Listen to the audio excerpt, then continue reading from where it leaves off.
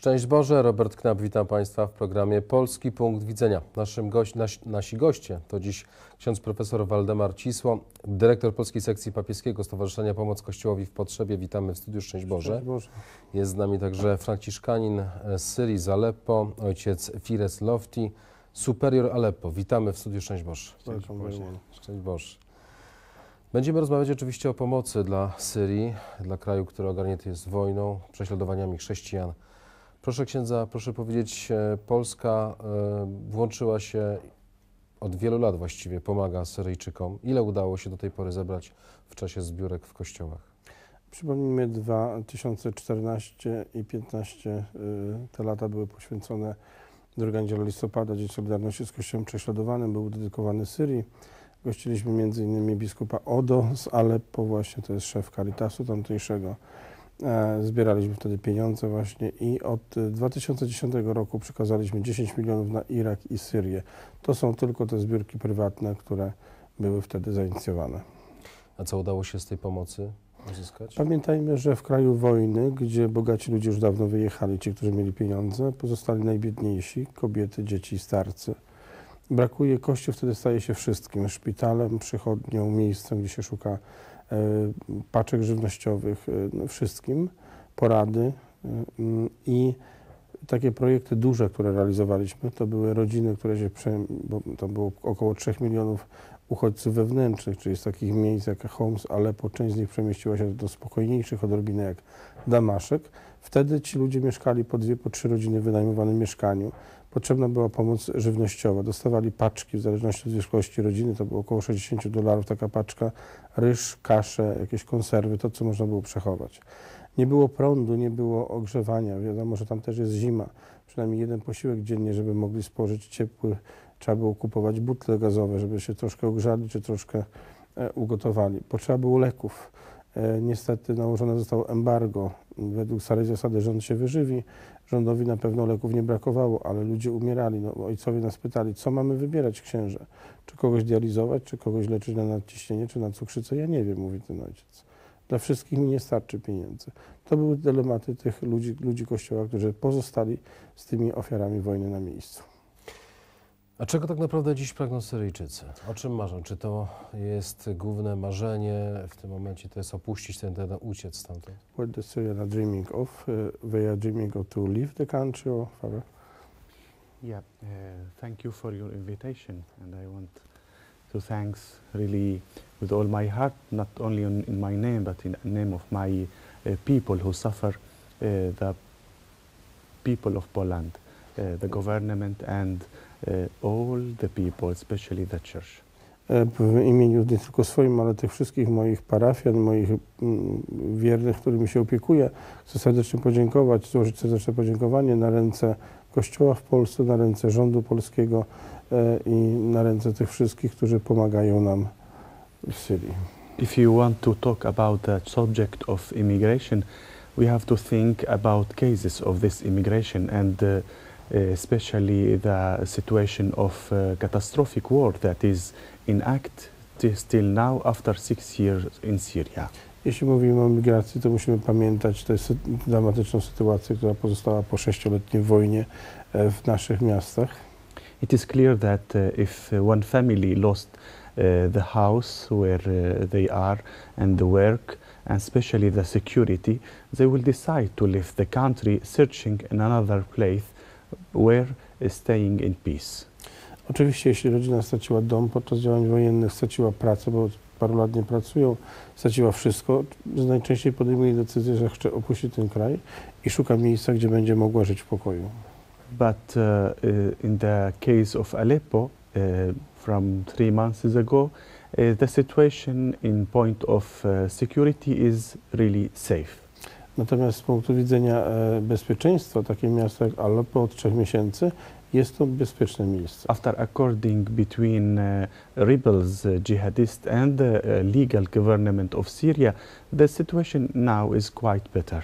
E, Jeśli po tym rozejmie, który zawarły wojska oficjalne rządowe i rebelianci, E, Sytuacja jest w miarę znośna. But you know, a case of uh, the war, after six years of the uh, catastrophic war, the consequences of the war still be now, and the people suffer a lot the currency of water, electricity, and the medical assistance. E, Oczywiście skutki wojny nadal pozostały, z czego z tego powodu cierpią ludzie. Nie ma wody, nie ma leków, nie ma elektryczności. To wszystko możemy sobie wyobrazić, jak utrudnia ludzkie życie.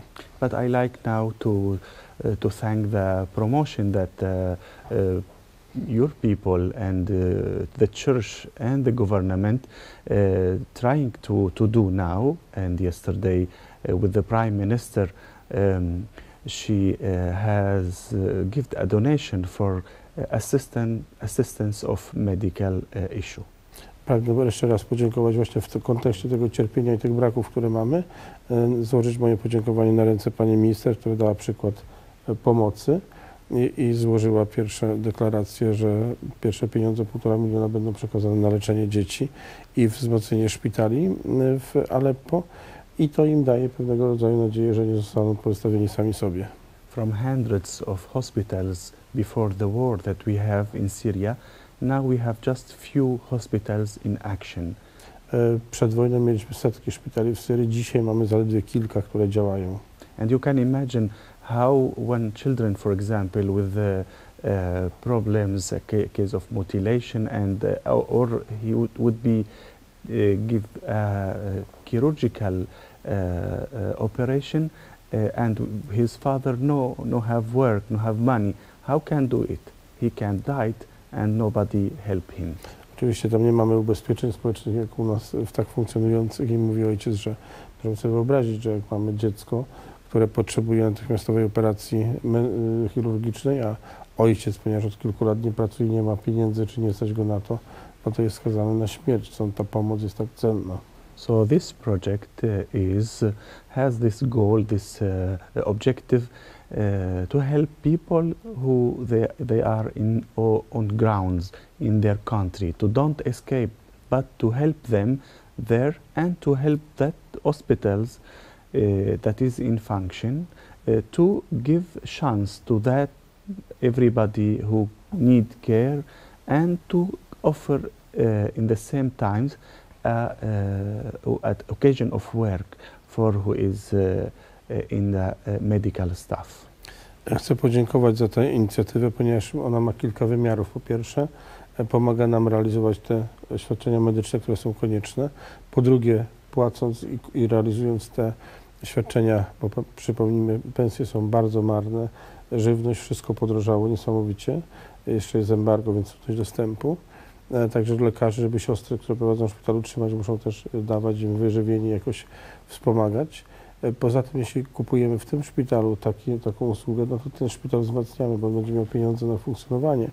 Wielu z nich udziela przecież za darmo tych porad, więc to się jakoś tam potem sumuje i pokrywa. Także podobnie jak kiedyś robiliśmy taką akcję ciepłe obuwie i ciepłe kurtki, seria słynie z szycia różnych e, m, odzieży, e, czy sportowej, czy jakiejś takiej innej. I to te pieniądze podwójnie pracowały, bo siostry, które pragnęły dać dzieciom ciepłe obuwie, zamówiły te y, uszycie tych kurtek i butów w fabrykach syryjskich, czyli chrześcijanom daliśmy pracę. Gdyby była taka możliwość e, pozostania na tych terenach, Syryjczycy by pozostali, nie, nie emigrowaliby. If it, if it will be possible to stay in Syria, the Syrian people would like to stay or to immigrate. But the Syrian people uh, likes their country, their culture, uh, and uh, they hope one day to come back to their country. But I understand that if you don't uh, uh, furnish the essential uh, uh, motivation to stay, they can't uh, remain there. But this uh, project uh, is to promote their permanence, their presence in their grounds. Oczywiście, jeśli będzie w miarę spokojnie, jeśli nie będą spadały bomby. Przypomnijmy tylko taką wypowiedź młodej Syryjki, która podczas Światowych Młodzieży jeden z, prywatny, z reporterów prywatnej stacji chciał sprowokować, czy chciał udowodnić tezę tej stacji, że oni wszyscy chcą przyjechać do Europy. Ona powiedziała, nie, my potrzebujemy pokoju. To jest najważniejsze. My chcemy w pokoju żyć, pracować, uczyć się. Jeśli będzie pokój, nie będzie potrzeby e, emigracji, nie będzie potrzeby wyjeżdżania. Ojciec już wspomniał tutaj o pomocy, którą zaoferował polski rząd, półtora miliona złotych, które przeznaczył polski rząd. Premier wczoraj uruchomiła te fundusze. Na co konkretnie zostaną przeznaczone te środki?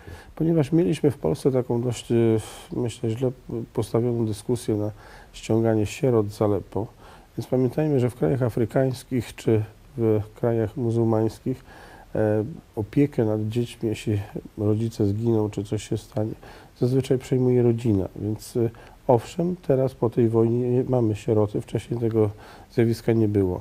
Mamy, y, więc ja przeprowadziłem rozmowę z biskupem Darwiszem, który jest y, w Libanie, w Dolinie Beka, gdzie funkcjonują szpitale. Mamy dwa szpitale właśnie w Damaszku, trzy w Aleppo. One nie funkcjonują całkowicie, dlaczego trzeba je wzmocnić sprzętowo i finansowo, żeby były w stanie opłacić za swoją kadrę. I po to są te pieniądze, żeby konkretne procedury medyczne były wykonywane. Wyceniono nam te procedury medyczne, że jakieś tam lżejsze przypadki to jest około 1200 dolarów, bardziej skomplikowane około 4000 dolarów i na to głównie pójdą te pieniądze, które pani premier uruchomiła. Jak powiedziała, jest to początek, będziemy dalej tę pomoc rozwijać, bo takie oczekiwania w stosunku do Polski są.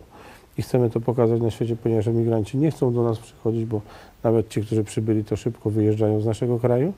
Dlatego chcemy pomagać tam, gdzie jest to najbardziej efektywne na miejscu. Jak minister Błaszczak policzył y, koszt przewiezienia jednego dziecka z Syrii do Polski, te wszystkie poboczne koszty typu tłumacz, typu e, opiekunka i tak dalej, e, to to jest y, 1 do 10, czyli za jedno takie dziecko przewiezione do Polski można wykonać 10 zabiegów w Syrii.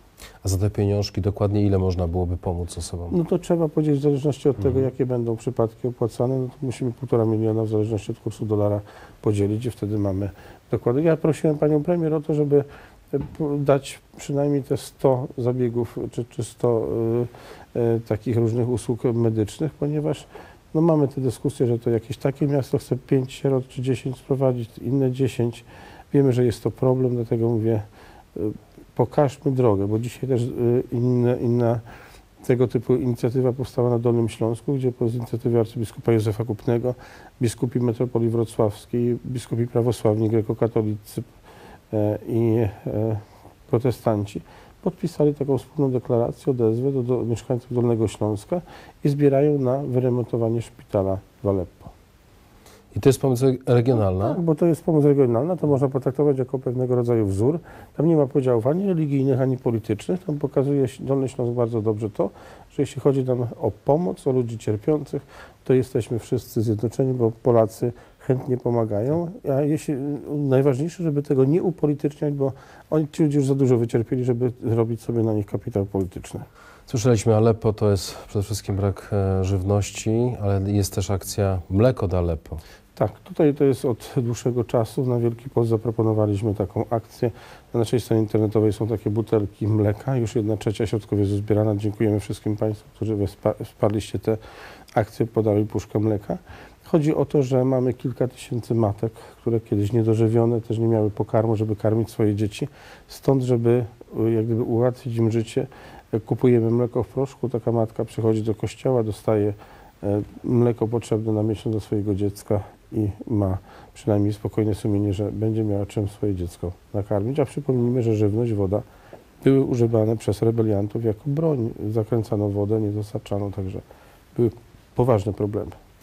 No Właśnie, może wróćmy na chwilę jeszcze do, tego, do tej sytuacji, która jest w Syrii. Chodzi mi o i wojnę i też tego problemu migracji, bo słyszymy, że Unia Europejska instytucjonalnie chce wymuszać na krajach Europy e, przyjmowanie migrantów, e, dużych grup emigrantów. Polska pomaga Syrii, wysyłając różnego rodzaju e, środki i, i pomoc.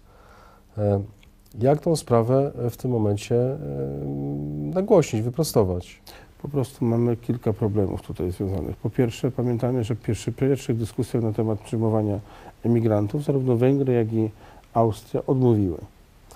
Nie słyszymy, żeby Austriacy czy Węgrzy byli specjalnie krytykowani, krytykuje się tylko Polskę. To jest jeden aspekt, myślę, że wart przemyślenia. Austriacy bardzo mądrą politykę zrobili. Przyjmują wszystkich, um, dają, się im, dają im możliwość umycia się, ubiorą ich i podwiozą pod granicę z Niemcami, czyli tam, gdzie oni chcą pójść.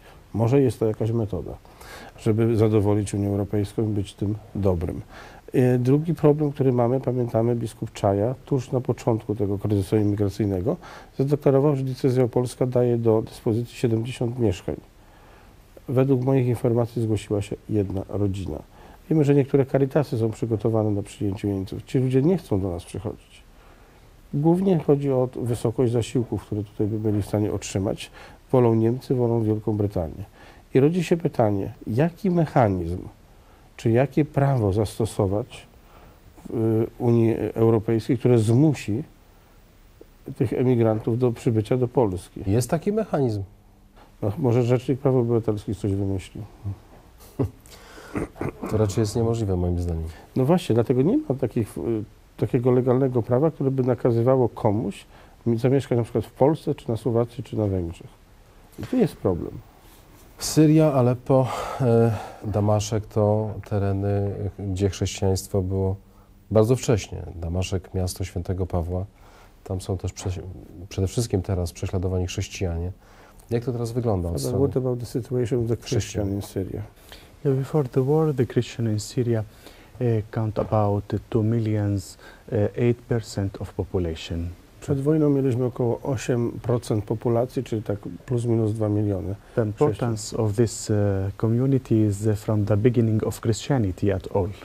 Pamiętajmy, że to są pierwsze wieki chrześcijaństwa, początki właśnie. In Antioch of. Ant- uh, of Syria, the first time that we are calling, we called Christian with this beautiful name. I pamiętajmy, że to właśnie na terenie Syrii chrześcijanie po raz pierwszy zostali nazwani tą And in nazwą. the Act of Apostles, we read about the history of St. Paul, who, he, who have transformation in the uh, road of Damascus. Pamiętamy dzieje apostolskie, pamiętamy historię świętego Pawła, gdzie właśnie pod Damaszkiem So, dokonało się jego nawrócenie. so this uh, beautiful community has this uh, big heritage of Christianity is the source of Christianity, and uh, all around the 2000 uh, bimillennial, bimillennial uh, history of Christianity, we are there, and we want to stay and to continue there, our presence there. Mając na uwadze te piękne historie, które czy w dziejach apostolskich, czy w historii Kościoła możemy odnaleźć. Pamiętamy nie tylko świętego Pawła, ale to piękne, kwitnące chrześcijaństwo, wiele obrządków, to i bogactwo. zabytków oczywiście. Bogactwo liturgii, bogactwo zabytków, bogactwo e, no, no wszelkiego rodzaju. I e, też pamiętajmy, że chrześcijanie do tej pory tam wytrwali, tam nie było zawsze łatwo. Były prześladowania, były trudności i teraz też chcą pozostać, żeby ta e, Ziemia Święta nie pozostała bez chrześcijan. And along the history, we have had lots of martyrs, I patrząc na historię, mieliśmy bardzo wielu męczenników. and we are not afraid from the, the violence and from the terrorism and from the death. I oni nie obawiali się ani terroryzmu, ani przemocy, ani tego wszystkiego, co ich spotykało. Dlaczego to jest takie ważne, aby chrześcijanie tam pozostali? Uh, why is so important that the Christians are staying in Middle East?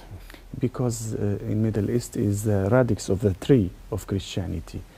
If you cut this radix, this uh, source of uh, Christianity, you have no uh, members in all around the world. Ojciec mówi, że e, powodem, dla którego chrześcijanie powinni pozostać, jest fakt, że to są korzenie chrześcijaństwa. Jeśli odetniemy korzenie, nie pozostanie chrześcijaństwo. Zresztą przypomnijmy też słowa Ojca Świętego Benedykta XVI e, z dokumentu Ecclesia in Medio Oriente, kiedy do, w Libanie do większości patriarchów Kościoła Wschodniego powiedział Bliski Wschód bez chrześcijan lub z dużo mniejszą ilością nie będzie tym samym Bliskim Wschodem. Dlaczego? Ponieważ to chrześcijanie są tymi, którzy budują mosty.